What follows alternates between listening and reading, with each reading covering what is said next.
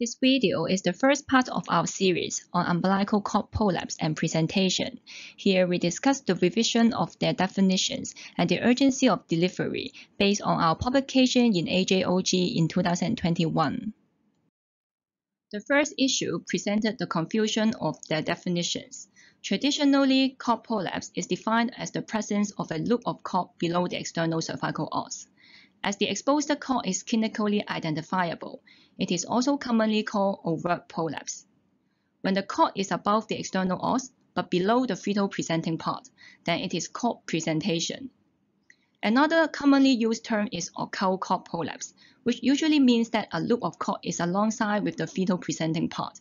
The term occult is used as the cord is neither outside nor at the cervical os, meaning the condition is not readily identifiable. However, the term prolapse is a misnomer, as the cord has not prolapsed out. Both the cord and the fetal presenting part are still above the external os. You may have read from the RCOG guideline that occult cord prolapse is the descent of the cord through the cervix alongside the fetal presenting part. It is an improper description because in a real situation, it is rather impossible for the cord to pass through the cervix while still being alongside the presenting part, which has not yet passed through the cervix until in the second stage of labor. And if it does happen, it is not occult anymore. Hence, the correct term to describe this condition should be compound cord presentation instead. Why is it important to get the definition right? Cord prolapse is supposed to be more risky than cord presentation, but in fact, this so-called occult prolapse is less severe than the latter in terms of progression to genuine cord prolapse, as the fetal presenting part displaces the cord from the cervical os. As such, the misnomer occult prolapse is misleading in the estimation of its risk. Therefore, occult cord prolapse should be replaced by compound cord presentation to accurately reflect the risk of these conditions, which are related to the degree of the descent of the cord. Furthermore, the use of the term overt is rather unnecessary and redundant. Another point is that cord prolapse is usually defined with the presence of rupture of membranes, while in cord presentation, the membranes can be ruptured or intact. Although cord prolapse in the presence of rupture of membrane highlights a dangerous condition that requires immediate intervention, it does not cover cases where the cord has passed through the cervix but remains contained in an intact amniotic sac herniated into the vagina. The later condition is more common in preterm gestation or cervical incompetence. Although the membranes are intact, compression between the cervix and the fetal part may still occur during uterine contractions. Upon rupture of the membranes, the cord becomes unprotected in the vagina or may even be flushed out of the vagina. In such cases, the fetal risk is higher than that of cord presentation or compound cord presentation. Hence, we redefine and reclassify cord prolapse, cord presentation, and compound cord presentation with rupture or intact membranes. This classification covers all the possible conditions and more accurately reflect their risk. The second issue concerns the urgency of delivery. The mainstay of treatment for cord prolapse is urgent delivery, which means cesarean delivery in most cases, unless vaginal delivery is imminent. The RCOG guideline states that delivery should be achieved within 30 minutes. However, such recommendation is not grounded on good evidence, as it also states that there is a poor correlation between decision to delivery interval and the umbilical cord pH.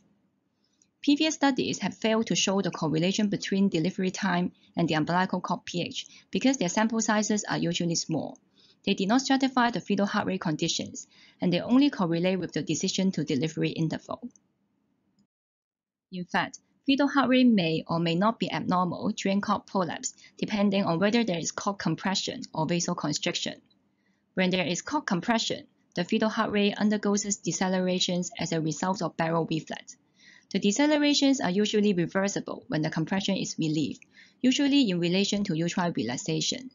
Hence, the risk of persistent fetal hypoxia is low. On the other hand, if there is persistent cord compression or vasoconstriction, persistent fetal hypoxia may result in fetal bradycardia. Hence, we have recently conducted a retrospective study of 114 cases of cord prolapse 30% had persistent bradycardia, 26% had recurrent decelerations, and 44% had a normal fetal heart rate pattern.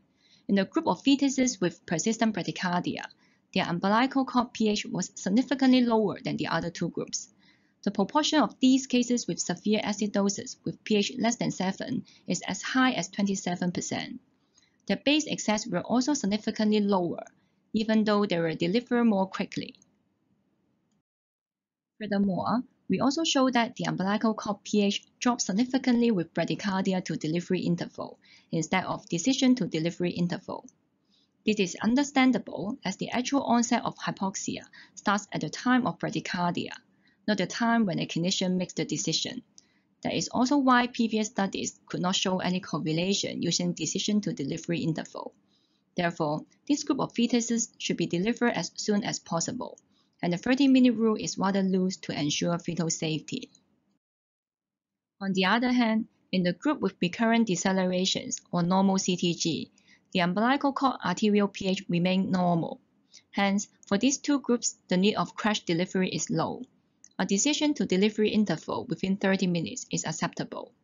Meanwhile, preventing further cord prolapse, close fetal monitoring, and optimization of maternal conditions before cesarean delivery are the suitable managements. Please also watch the second part of our series, where we will discuss the effectiveness, pros and cons of different maneuvers in relieving cord compression and the potential benefits of tocolysis. Thank you for watching. To learn more about the techniques and management of emergency obstetrics, please visit our SOPHIE website.